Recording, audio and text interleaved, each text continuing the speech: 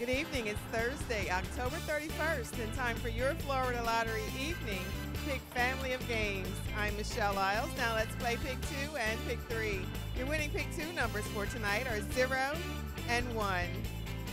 Your winning pick three numbers for tonight are four, three, and three. More than 800,000 students have been able to attend college on a Bright Future Scholarship. The Florida Lottery, it's your ticket.